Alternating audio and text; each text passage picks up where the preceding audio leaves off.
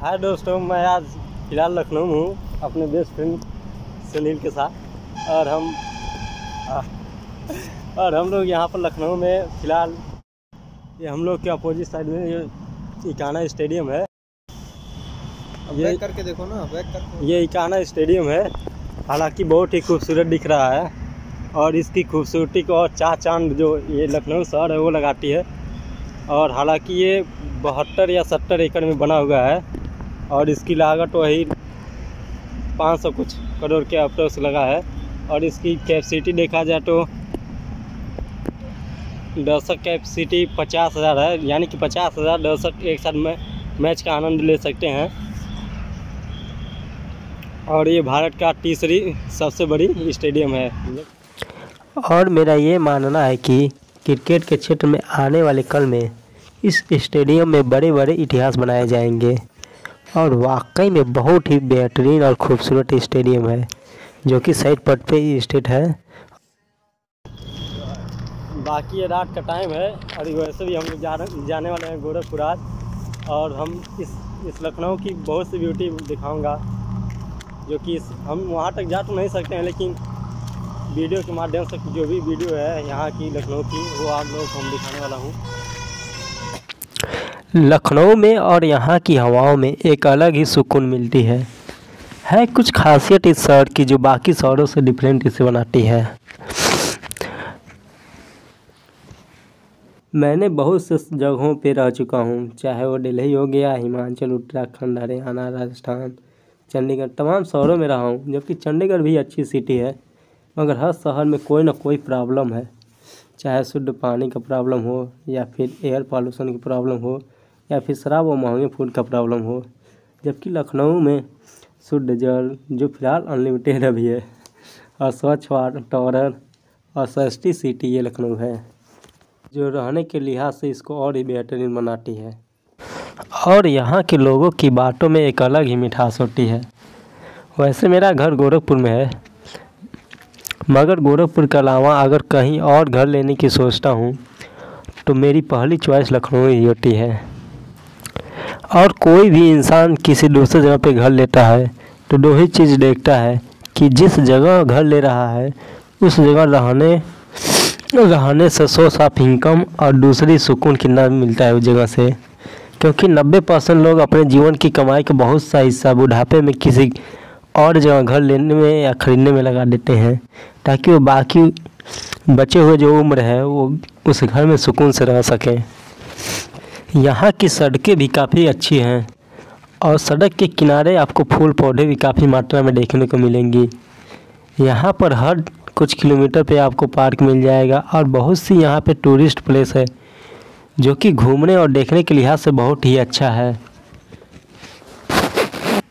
यहाँ पे Lohia, Janeshwar Mishra park, eco garden, Ambedkar park इटियार park भी हैं। बाकी यहाँ पे लगभग तीस इंजीनियरिंग कॉलेज और चालीस से ज़्यादा मेडिकल कॉलेज और कई सारी यूनिवर्सिटियाँ हैं। बाकी रहने के हिसाब से तो ये बहुत बेहतरीन जगह है। मैं ही नहीं, जबकि भारत के डिफेंस एक्सपर्ट भी जानते हैं कि इन फ्यूचर कभी पड़ोसी देश से युद्ध हुआ तो कभी लखनऊ का कोई भी नुकसान नहीं होगा। यहाँ तक हाइपरसोनिक ही मिसाइलें ही कुछ कर सकते हैं। अगर डिफेंस सिस्टम ख़राब हो जाए तो। और हाल ही में लखनऊ लखनऊ के दोनों साइड पूर्वांचल एक्सप्रेस हो या फिर यमुना एक्सप्रेस वे हो, दोनों पर एयर रनवे बना बनाया गया है। ताकि युद्ध के दौरान बॉर्डर के समीप रनवे अगर दुश्मन देश नष्ट भी कर देते हैं तो यहाँ पर लैंडिंग करा के इधर रिफ्यूलिंग बम और रॉकेट की लोडिंग की जा सकती है। बाकी और भी कुछ बातें हैं जो डिफेंस से रिलेटिव है, जो कि हम इस वीडियो में बताना नहीं चाहते ये लखनऊ दरगाह की पिक है, जो कि बहुत ही अच्छा दिख रहा है। ये चार बाग रेलवे स्टेशन का टॉप व्यू है, जो कि ऊपर से, ऊपर का दृश्य है। और ये इसे, ये कहा जाता है कि ये विश्व का सबसे बिज़ी स्टेशनों में से एक माना जाता है इसे, और जो कि बहुत ही बड़ा है। नवाबी खानदानी है। घर घर में यहाँ नवाबी खानदानी है। यहाँ के अदब की पूरी दुनिया दीवानी है। गालियाँ भी यहाँ तहजीब पहन कर आती हैं। बात बात पे तन जाती यहाँ सबकी पेशानी है। बात बात पे तन जाती यहाँ सबकी पेशानी है। और चप्पे चप्पे पे चर्चा जहाँ राजनीति की आम हो लखनऊ है। जनाब, ये उत्तर प्रदेश की राजधानी है। ये अंबेडकर मेमोरियल पार्क है, जिसे हाथी पार्क भी कहते हैं। ये लखनऊ की शान है। अगर आपने इसे नहीं घूमा तो आपने जनाब लखनऊ ही नहीं घूमा। इस पूरे पार्क का निर्माण गुलाबी पत्थरों से हुआ है, जो कि रात में रोशनी में, रात की रोशनी में बहुत ही खूबसूरत दिखता है। इस पूरे पार्क में गुलाबी इटालियन पत्थर का प्रयोग किया गया है। जो कि बहुत ही महँगे महँगे पत्थर ला लगाया गया है।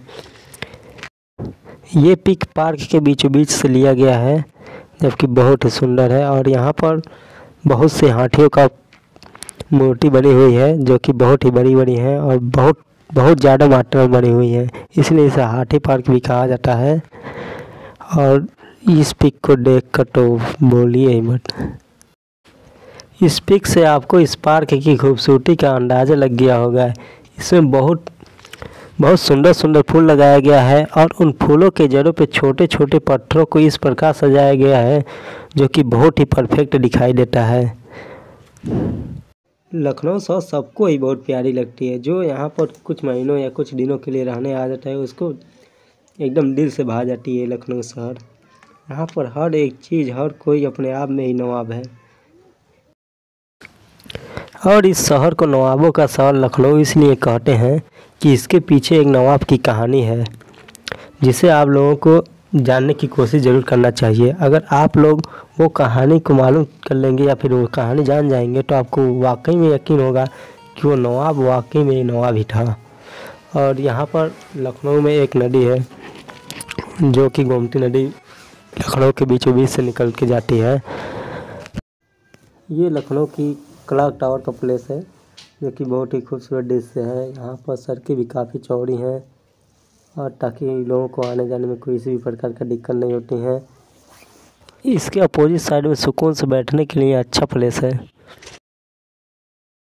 इस वीडियो में पार्क में ही ऊपर चढ़कर वीडियो बनाया जा रहा है, ताकि उसमें नीचे का दृश्य दिखाया जा रहा है। उस साइड होटल है और बाकी इस पूरे पूरे पार्क में जो भी जहाँ पर भी आप देखेंगे, सिर्फ़ इटालियन पत्थर का ही दिखाई देगा आपको। कहीं पर भी मिट्टी का एक ढूल भी आपको नहीं दिखाई देगा पूरे पार्क में। ये इमनबाड़ा का सीन है जो कि लखनऊ का भूल भुलैया भी कहा जाता है इसे। और ये काफ़ी खूबसूरत है पुराना भी हो चुका है, जबकि फिर भी एकदम हर एक चीज़, हर एक बिल्डिंग इसका पूरा वैसे की वैसे ही है। और ये ऊपर का सीन है भूल भुलैया की।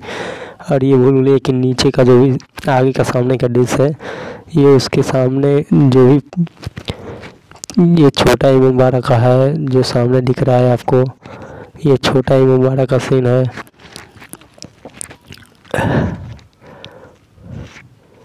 जो कि काफ़ी पुरानी इमारत है। ये लखनऊ में स्थित जनेश्वर मिश्र पार्क है, जो कि एशिया का सबसे बड़ा पार्क माना जाता है। और ये तीन सौ एकड़ में फैला हुआ है तथा इसके अंदर चालीस एकड़ में वाटर झील बनाया गया है। और यहाँ पर तो मैं कम से कम बहुत बार आया हूँ। तीन चार, नहीं, चार पाँच बार आ चुका हूँ, जबकि पूरा पार्क मैंने अभी तक घूमा नहीं हूँ। जब भी आधे पार्क से आधे या फिर आधे से ज़्यादा पार्क घूमता हूँ तो ना ही में शाम हो जाती है। और यहाँ पर घूमने के लिए साइकिल से भी आप चाहे तो घूम सक, घूम सकते हैं या फिर पैदल भी घूम सक, घूम सकते हैं। यहाँ पर साइकिल भी सुविधा मिलती है। आप जैसे चाहे वैसे घूम सकते हैं। और इतनी बड़ी है कि यहाँ पर वैसे ही बहुत टाइम लग जाता है। और यहाँ की खूबसूरती और यहाँ पर पेड़ पौधे और पार्क घास यहाँ पर जहाँ चाहे वहाँ पर आप बैठ सकते हैं। बहुत ही खूबसूरत है ये। और इतना बड़ा है कि आप, आपको तो अंदाज़ा ही होगा कि एशिया जब सबसे बड़ी पार्क है तो कितना बड़ा ही होगा। और एक, और लखनऊ की एक कहावत बहुत ही फ़ेमस है। और वो कहावत ये है कि मुस्कुराइए, आप लखनऊ में हैं। अगर लखनऊ सर आप लोगों को भी अच्छी लगी हो तो इस वीडियो को लाइक ज़रूर करें।